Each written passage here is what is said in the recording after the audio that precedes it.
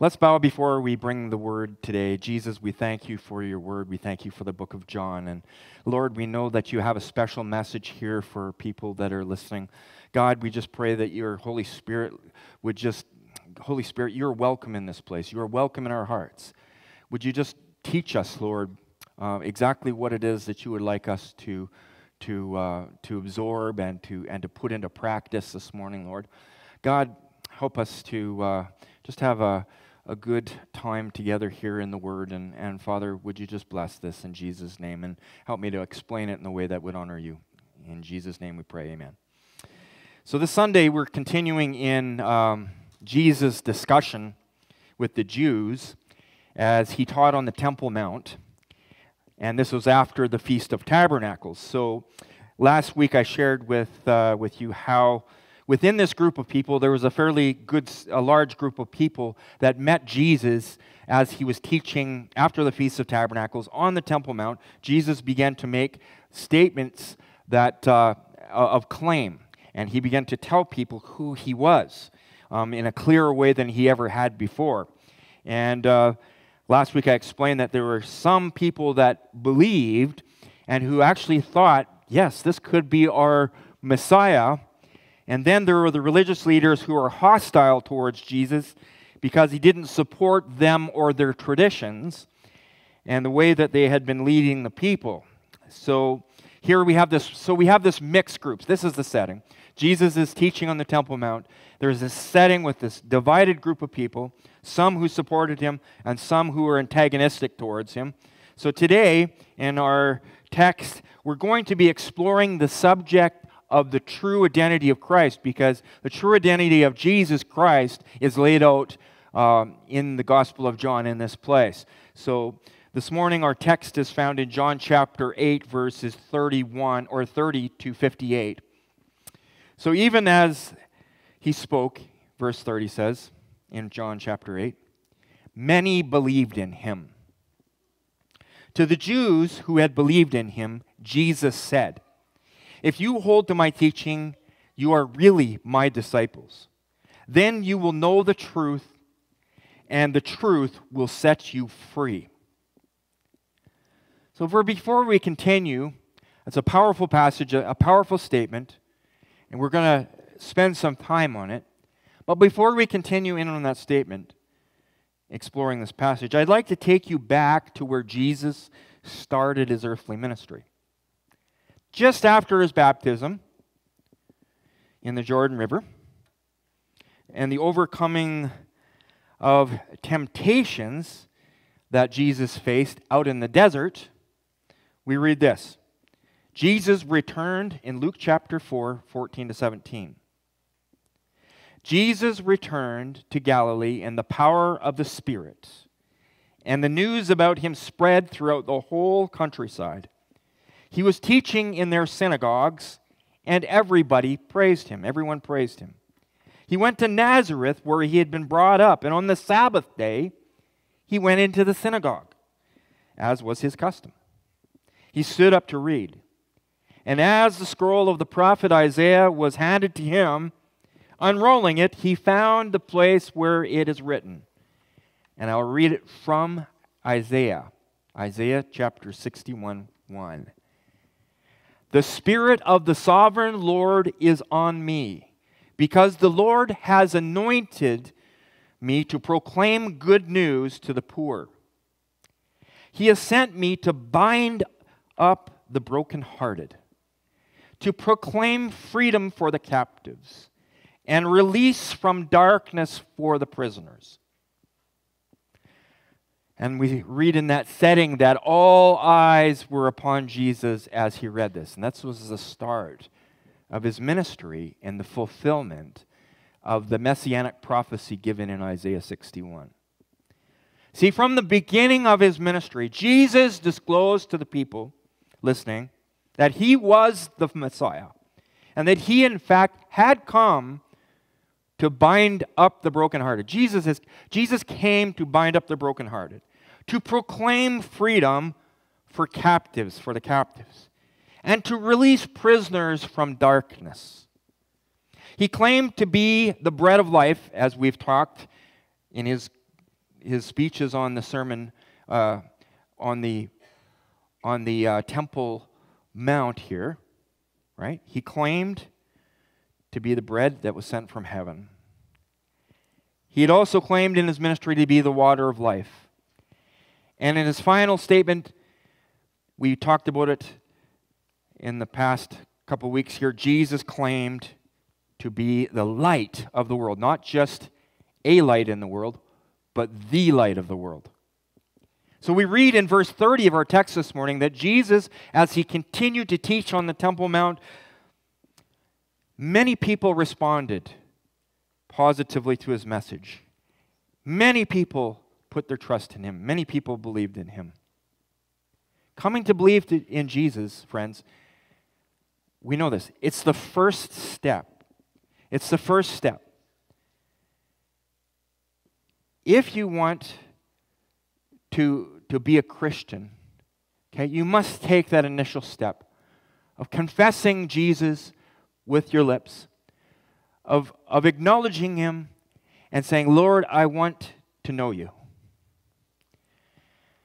Turning away from your sin, walking towards Him, the bread of life, the one who sets the darkness, uh, sets people free from the darkness, the light of the world.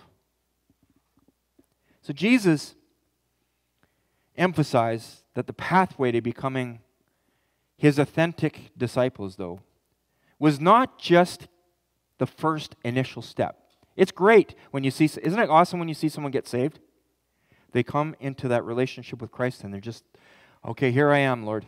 Here I am. And Jesus takes his his uh, super cleaning power and, and scrubs that heart clean from sin. And, and if, if you've experienced this as a believer, it's such a good feeling inside. The grass is greener, right? The birds are singing a sharper tune, and, and, and, and it's just more crisp and beautiful, and you just feel so light. Well, that's because sin is a weight, and your burdens are, are dealt with at Calvary, and that, that's great. But that's not where it ends. It's not just uh, your, your, your experience with God is not just coming to Him in your initial conversion. That's not what it's all about. And some people treat it like that. Yes, I've resolved things with God. Now I can just continue living life the way I want to live it. Hmm. That's not what He is after. You see, God is after cleansing us from our sin so that He can make His home within us in the Holy Spirit's presence. You were made like there's a God shaped vacuum in each one of you that was made as a place for God to dwell in His person. You are made to be the temple of the Most High God, the temple of the Holy Spirit. And Jesus Christ, sacrifice on the cross, makes a way for that to happen. But coming to believe in Jesus, that's just the first step.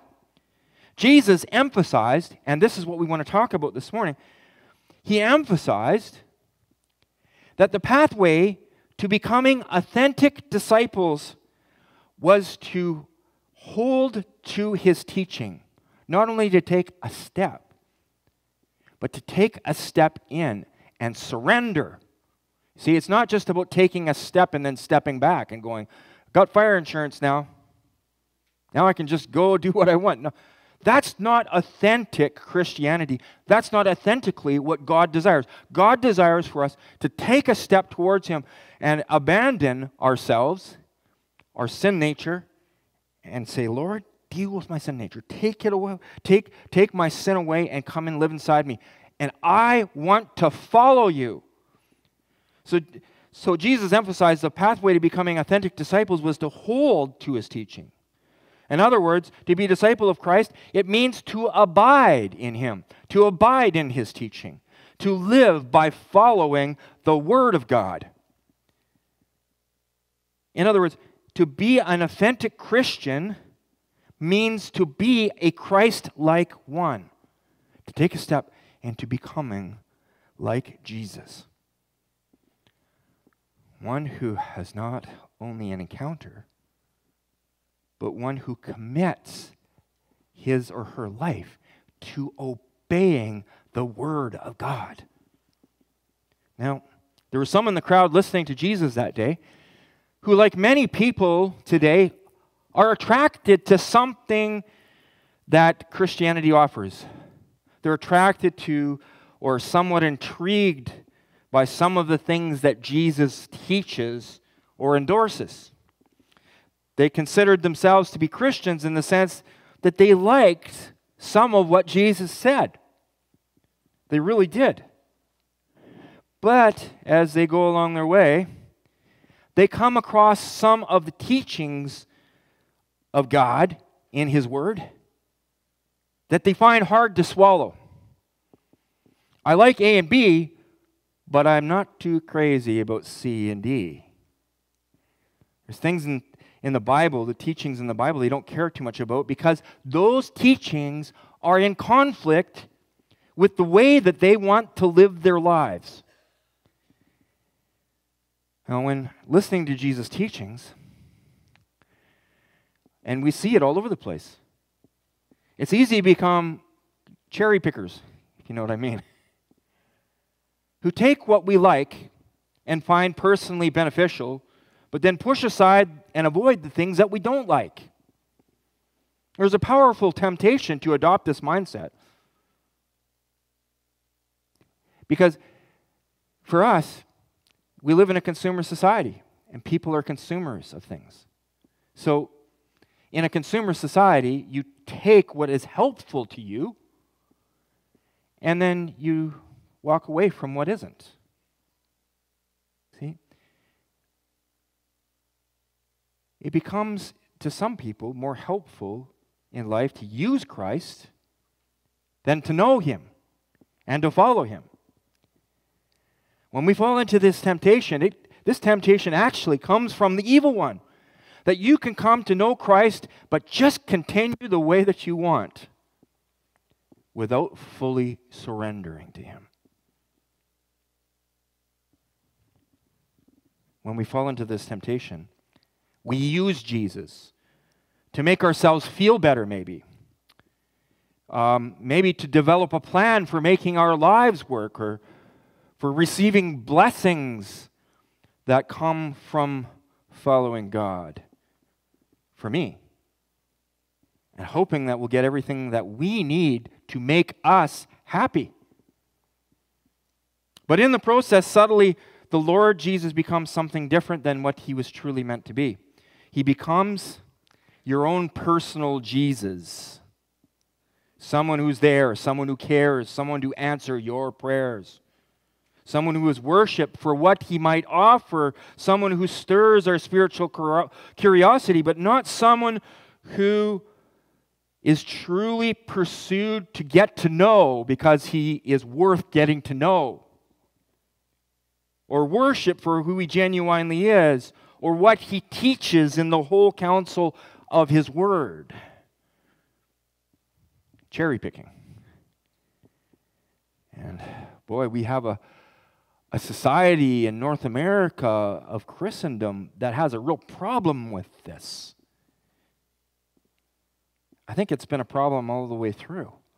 And this is Jesus is addressing, he's addressing this. Right before the start of his ministry, Jesus was in the desert. Now we mentioned that. And he was tempted. See, Jesus, he fasted for 40 days and 40 nights out in the desert. And it was immediately after his fast that Jesus was tempted by the devil with three very powerful temptations. In his first temptation, Satan asked Jesus to use his power to make bread out of the stones around him to satisfy his own physical hunger. In Matthew 4 1 to 4, we read, Then Jesus was led by the Spirit into the wilderness to be tempted by the devil. After fasting 40 days and 40 nights, he was hungry. Wouldn't you be hungry if you fasted that long, kids? If you didn't have food for 40 days and 40 nights, you'd be starving. You'd be famished. Everything would look like food. You'd look at those rocks, ooh, that looks like a piece of bread. Ah, nope, that's not bread. But the tempter came to Jesus and he said, If you are the Son of God, tell those stones to become bread. Jesus answered, It is written, Man shall not live on bread alone, but on every word that comes from the mouth of God. You may ask, Well, what's wrong with Jesus taking those stones and making them into bread. He was really hungry. And there's nothing wrong with satisfying your hunger, is there? Especially in a, in a circumstance where you're very weak and you need food. But what about in a spiritual time of fasting? Why is this why was this a temptation? Why would it have been a sin for Jesus to yield to that? You see, my friends, hunger represents human wants, plain and simple. Jesus fasted for 40 days and 40 nights to focus on the spiritual and away from the physical. That is the comforts of life because he was devoted to doing the work of God more than anything. And that's where his focus was to be. And Satan came telling him to use his divine powers to meet his own physical needs. When his mission was not to satisfy his own physical wants, his mission was to do the will of his Father, not to satisfy his own desire. And that is why he said in response to the devil, Man shall not live on bread alone, but on every word that proceeds from the mouth of God. See, God wants his disciples to be people who hold to the teachings of his word, not just to use the power of God's word to meet our own self centered physical needs and interests in Jesus' words from Luke chapter 9 23, then he said to them all, Whoever wants to be my disciple must deny themselves and take up their crosses daily and follow me. For whoever wants to save their life will lose it, but whoever loses their life for me will save it. What good is it for someone to gain the whole world, yet lose or forfeit their very self? See, Jesus said, he wants us to take up our crosses daily. What is a cross? It's a symbol that we use for churches. Kids, you see this, right? You see crosses all over the place on churches, right? But you know, the symbol of, of the cross is a symbol of death. And, this, and the symbol of the cross to the Christian is a symbol of dying to self, to become a follower and a disciple of Christ. This means it is no longer I that live, but Christ that lives in me. And God's desire is that I live for Him, for His interests, for His kingdom to come, for His will to be done on earth as it is in heaven. God will supply our daily bread. We say, Give us our, this day our daily bread. And He knows what we need before we even ask it, but our pursuit of Christ is not for our own personal benefit. It's not so that we can make our own personal Jesus the way we want to craft him, where we take what we want and we spit out what is repugnant to our flesh. Sometimes serving the Lord means giving up stuff that is difficult to give up because our flesh craves it. But the Lord will give us His strength, He promises it if you're truly his disciples, you will hold to his teaching. And this is what the promise is here He will give you what you need. Never will he leave you, never will he forsake you. He's not going to let you, uh, he's not going to cast you aside when you need something. Give us this day our daily bread. It's okay to pray that. But our focus needs to be give me this day, Lord, a heart that is submitted to you so that your will be done on earth as it is in heaven. And yes, Lord, you know what I need before I even cry. Give us this day our daily bread. And not just that, but Lord, give us this daily bread in the Spirit. Because you know that you can't do anything without the grace of God. You can't walk without the grace of God. You can't live a life that pleases Him without the grace of God. You can't come to Jesus without the grace of God. Grace is undeserved merit that's bestowed upon us by the Lord. You can't do anything without Him. But He has given you all things because He desires you to be alive in Him and to live abundantly in Him. God calls us to be willing to surrender our own physical desires of self gratification to serve God's holy purposes. What is God, God's holy purpose for your life? I can tell you this much. The first step is that He wants you to be like Jesus. And what was Jesus like? Jesus was a foot washer. Jesus went out of his way, stooped down, and got on his hands and knees, the creator of the universe who spoke the galaxies into, into existence, bent down and washed his disciples' feet, took a lowly position of a servant. If you want to follow Christ and hold to his teachings, you must be willing to be a servant of all. This is not about me and my personal Jesus, one who answers my prayers and meets all my needs for me. This is a Lord, thy will be done on earth as it is in heaven, Jesus a disciple making Jesus. What is a disciple? That's a good question. I'm going to answer that. What is a disciple?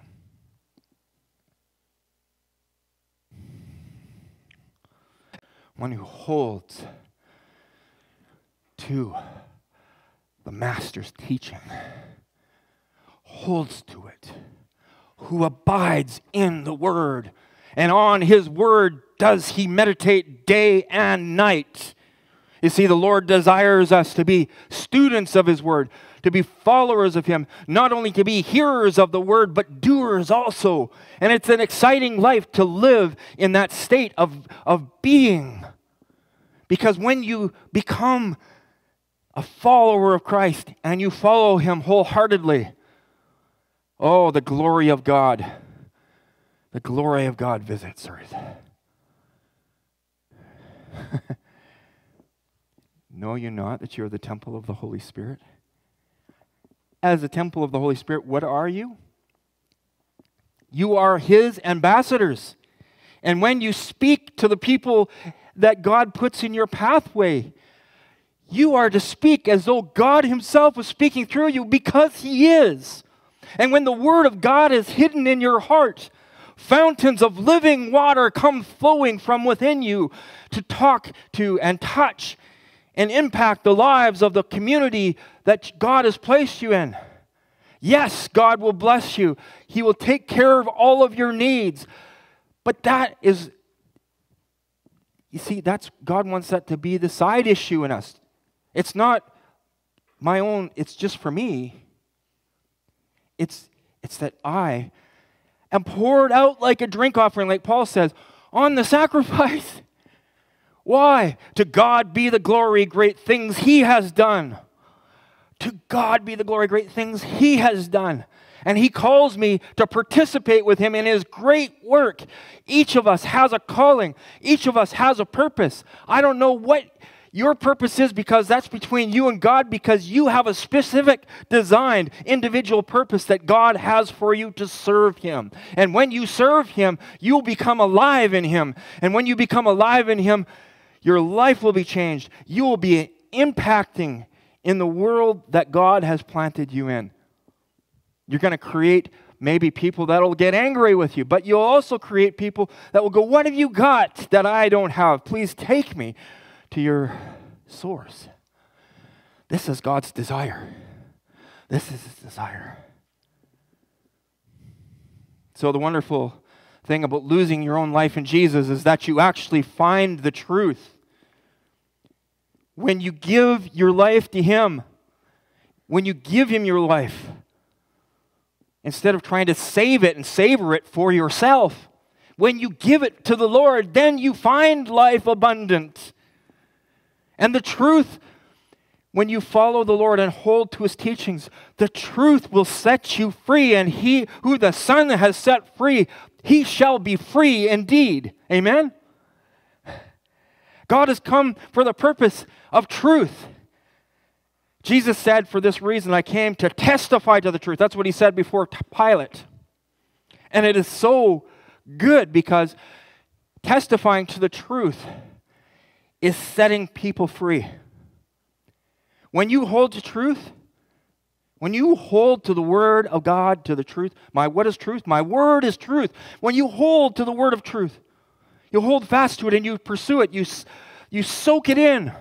Not just 15, 20, 30 minutes when you go to your Bible study or half an hour when you go see the pastor preach, but every day, feasting on the Word of God.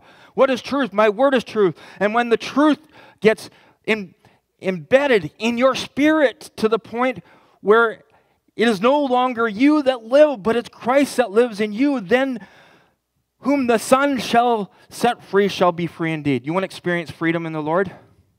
I do. Do you want to experience freedom in the Lord? I pray that you do because God desires that you be free. He desires that you be free. And you don't become free by being selfish with your energy and everything that you have and gathering it to yourself. That's not the source of, that's not the way to freedom.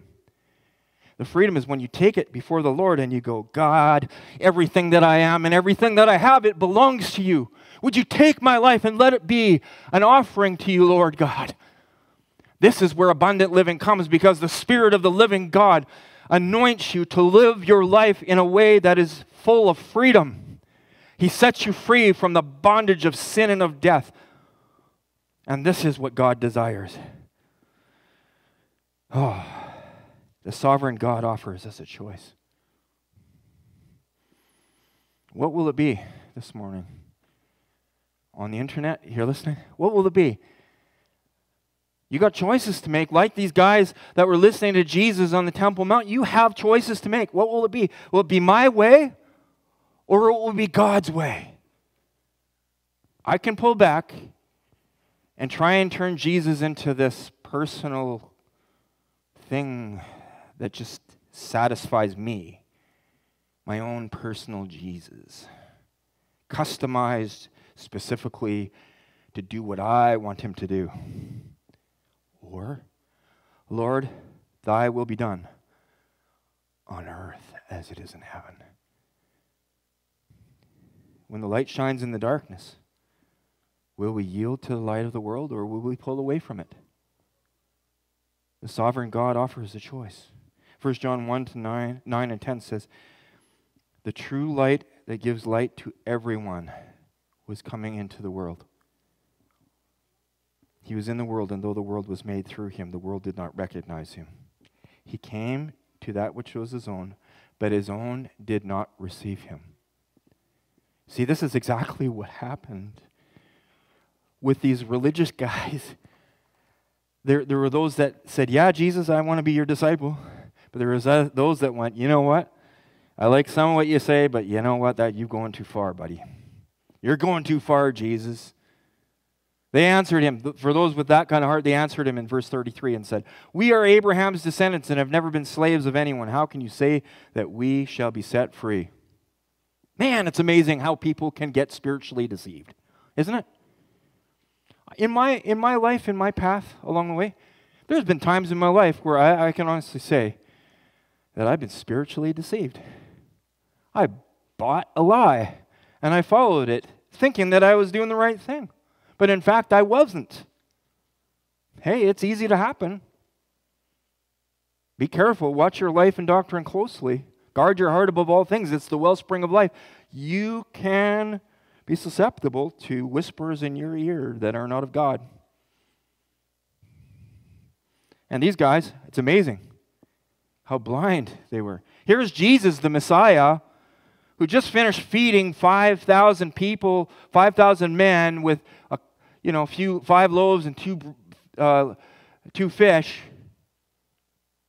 God, you know, healing people, setting blind eyes to see, crippled people walking, all this. Here's Jesus doing all this stuff, and these guys knew it, they seen it, but they wouldn't believe they, because it just didn't fit their system. See, they, they, they're like, we're not, how can you say that we need to be set free? We've never been slaves of anyone.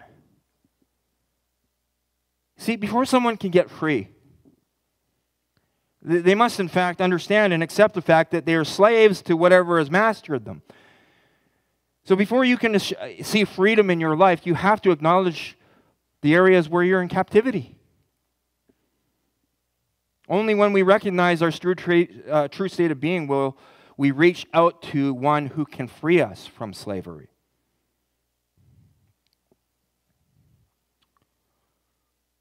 Many, upon hearing the invitation to Christ's freedom that comes through submitting to Jesus, inwardly say, No, I'm good. No, I'm good. So these guys are doing. No, we're good. We're good. You ever had that? Uh, you try to talk to someone about Jesus. No, no, I'm good. That Jesus stuff might be good for some people, it might be good for you, but I don't need it. It's a crutch. I'm fine. I don't need a Savior. I'm just going to live my life the way I want it. See the deception? The reality of it is that person is one step away from their last breath and an eternity of separation from God in hell. That's, that's heart wrenching. It's heart wrenching. They don't realize how lost they really are until the lights get turned on by the Holy Spirit. They got to be willing to allow the Holy Spirit to speak to them and not shed the word that comes on them like the hardened ground that we talked about last week. In the physical realm, we have Jewish religious leaders listening to Jesus speak. And they're like, We've never been slave to anyone. Had they forgotten? Look at the history of the people. Had they forgotten that they were slaves in Egypt for 400 years? Their children of Abraham were slaves of e- in Egypt for 400 years. Had they forgotten about how the disobedient ten northern tribes were swept away by the king of Assyria and taken into service for Assyria away from their country? Had they forgotten how how Jerusalem fell and was ransacked by the Babylonians, and how their people were dragged out of the city with fishhooks through their mouths into slavery. Had they forgotten that? They, they were deceived into saying, No, we're fine. I'm fine. Because not only were they historically enslaved, but they were a slave to sin. Jesus replied, Very truly, I tell you, everyone who sins is a slave to sin. Now, a slave has no permanent place in the family, but a son belongs to it forever. So if the son sets you free, you will be free indeed. So here's Jesus setting the framework for what he was going to do for humanity, his work on the cross. He tells those who are listening that everyone who sins is a slave to sin. And we're talking a person who is habitually bound by patterns of sinning. The prisoner is free when he is no longer in prison. The slave is free when he or no longer is under legal control of his owner. See, in slavery, you're owned by someone. Everyone has a master, the Bible says. You can either be a slave of the God of this world, the, the, the chief of liars, or you're going to be a slave to the God who created the heavens and the earth, a slave of righteousness. Either way, you're going to be a slave. Whether you think so or not, you're going to be. Jesus here sets the stage for his work on the cross, telling those who listen to him that everyone who sins is a slave to sin. For all have sinned and fall short of the glory of God. Every single human being from the time of Adam onward has been a slave to sin. He says in 37, I know that you are Abraham's descendants, yet you are looking for a way to kill me because you have no room for my word. I'm telling you what I have seen in the Father's presence, and you're doing what you have heard from your father. Abraham is our father, they answered. If you were Abraham's children, Jesus said, then you would do what Abraham did. As it is, you are looking for a way to kill me, a man who has told you the truth that I heard from God. Abraham did no such thing, did not do such things. You are doing the works of your own father. We are not illegitimate children, they protested. The only father we have is God Himself. Jesus said to them, If God were your father, you would love me. For I have come here from God.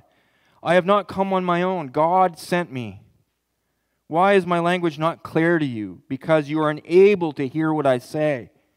You belong to your father, the devil, and you want to carry out your father's desires. He was a murderer from the beginning, not holding to the truth, for there is no truth in him.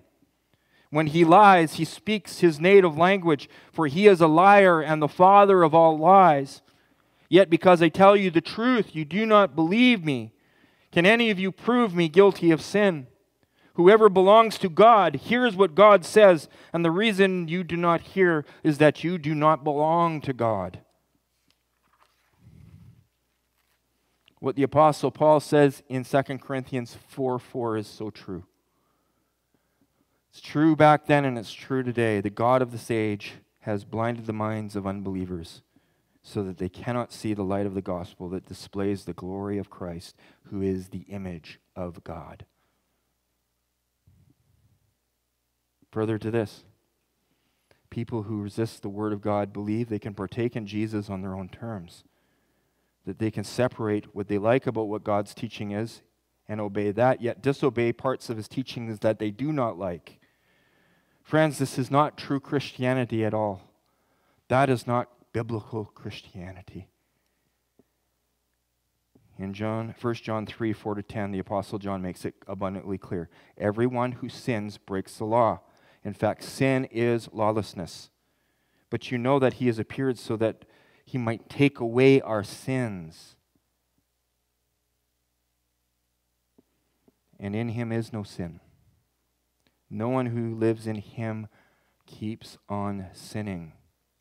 Did you hear that? This is not the word of Pastor Clint.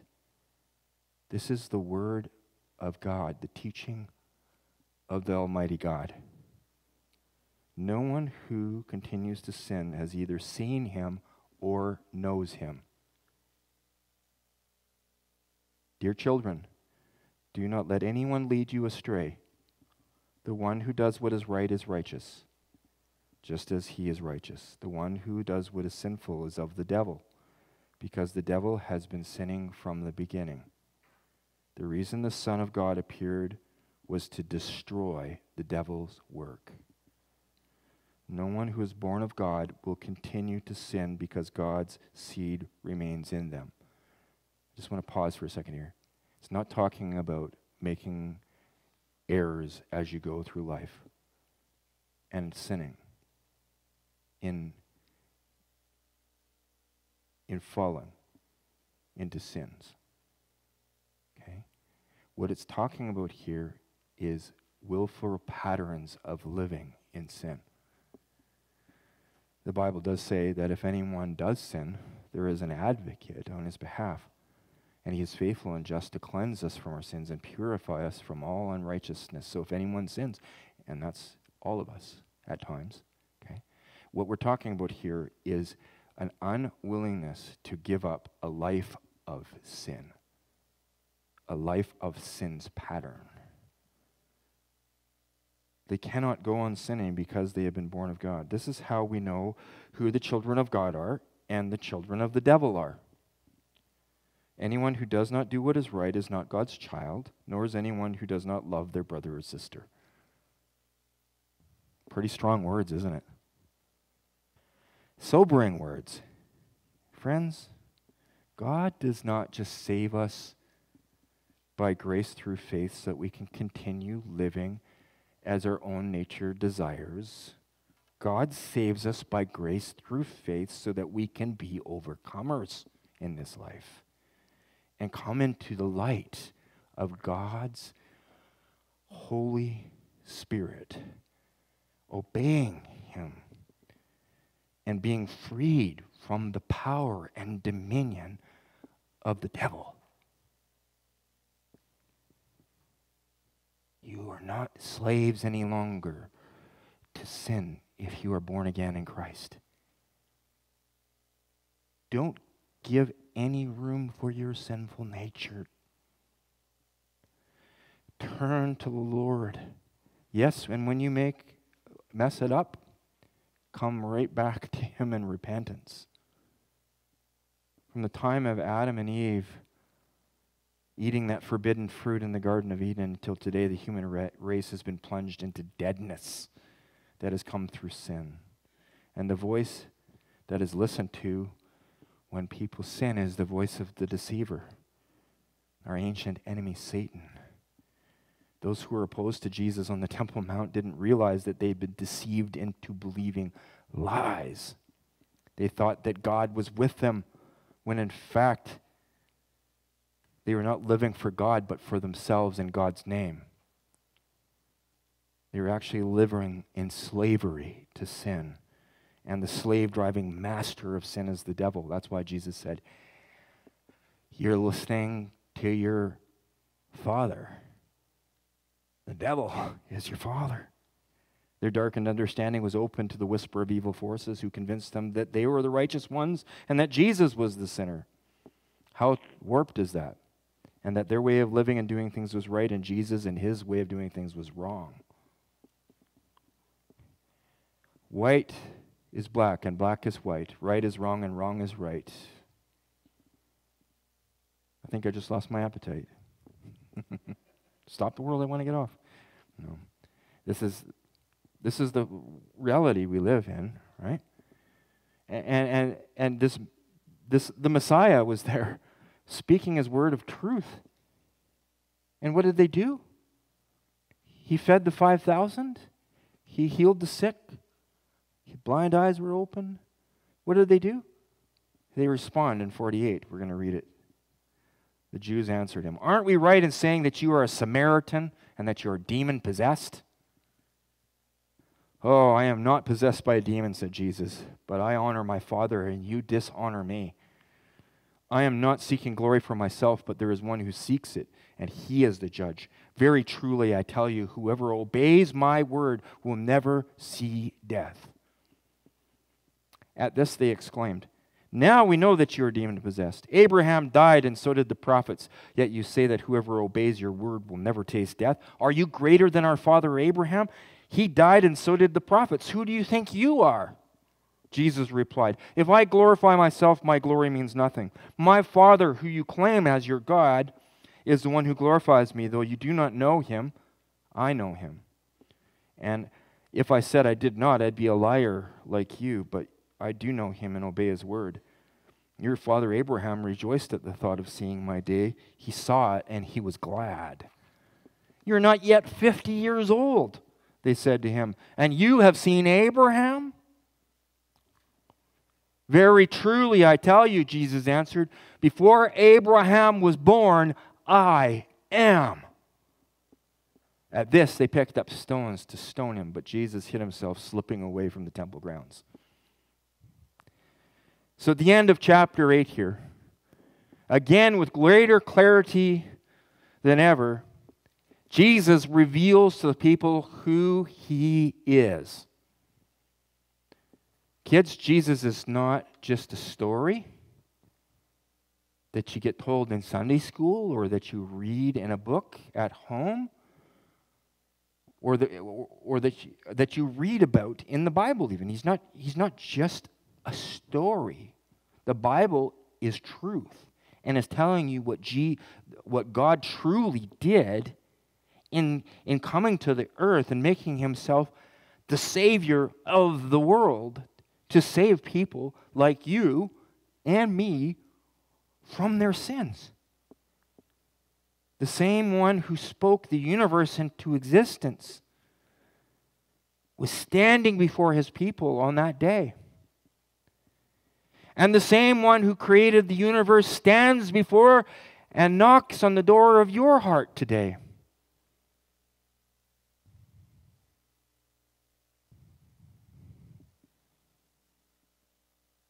But sadly, so many people have Jesus come to them and speak the truth to them.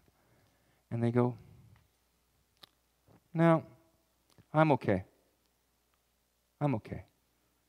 That might be good for you, but I can do things my own way, and that's not good for me. Your truth is your truth, my truth is my truth. Folks, there is no two truths. It either true, it's either true or it's a lie. It's either truth or a lie. Jesus said that I am the way, the truth, and the life. There's no way unto the Father except by me. If you want to know God here today, the only way is by coming to Jesus and accepting what he says and becoming a disciple, one who holds to his word or abides in his word. See, the same Jesus in Exodus chapter 3 visited Moses when he Moses was called to facilitate the freeing of the Israelites from slavery. And when when Moses met God in the burning bush, he's like, "Okay, I'll go to Egypt, but who do you who should I say sent me?" In verse 14 of Exodus 3, God said to Moses, I am who I am. This is what you are to say to the Israelites I am has sent me to you. And when Jesus stood before those people to, and they were questioning him, he says, I tell you the truth. Before Abraham was, I am. So God is calling you today to walk and hold to the teachings of His Word, to be His disciples. Disciple is one who follows his master, who imitates his master, who is an ambassador for his master. Yet not everyone rejected Christ. There were people on that Temple Mount that day who didn't reject him like these guys were. And that's what it says in John chapter 1, 11 and 12. And it's true here today because I believe sitting amongst us is a whole group of people who have said yes to Jesus and that they want to follow Jesus. They want to be his disciples. They want to live for him. In John 1 11 and 12, and we'll end with this Yet to all who did receive him, to those who believed in his name, he gave the right to become children of God, children born not of natural descent nor human decision or husband's will, but born of God. So the question is today what are you going to do with Jesus? What are you going to do with him? As a true disciple, hold fast to his teachings. Crave and and bathe and, and consume the Word of God and let the truth set you free because you are free in Christ. Amen? Amen. And if you're out there today and you don't know the Lord Jesus Christ as your Savior, you can come to know Him today. Humble your heart before Him and ask Him to be your Savior and your Lord. Let us pray. Jesus, we thank you for your word. We thank you for everything that you are and everything that you do. We thank you for revealing yourself to the Jews on the Temple Mount that day so long ago. And God, you continue to reveal yourself to us here today as well. Thank you, Jesus, that you are the same today as you were yesterday and the same as you will be forever. We worship you, God. And we ask that you would just bless our congregation of believers here. Lord, bless us to do your work. And God, we know that you will meet all of our needs according to your riches and glory. And we thank you in Jesus' name. Amen.